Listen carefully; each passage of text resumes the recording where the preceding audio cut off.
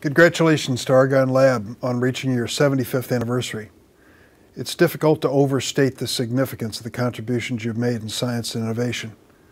Decades ago, Argonne helped usher in the first generation of nuclear energy, and its leadership in our national pursuit of clean energy really leads the nation. Scientists at Argonne's Joint Center for Energy Storage Research are pioneering the next generation of batteries the kind of technology we need to transition to a clean energy future and become global leaders in electric vehicle production. And it's not just in energy. Argonne leads the way in advanced computing, AI, quantum information, and even analyzing COVID-19. Throughout the pandemic, Argonne played an integral role in mapping the spread of the coronavirus, gauging its impact on supply chains.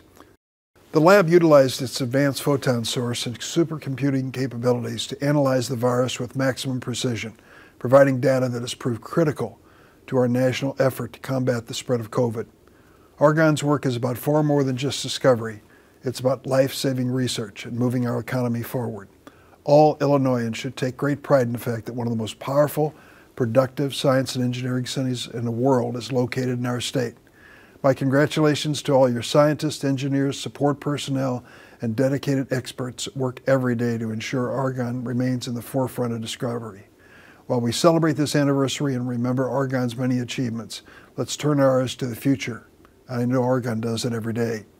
In the next 75 years, as Illinois leads the U.S. toward an electrified modern economy, as we prepare to face more harrowing challenges like COVID-19, and as we continue to advance our understanding of the universe, we need Argonne more than ever.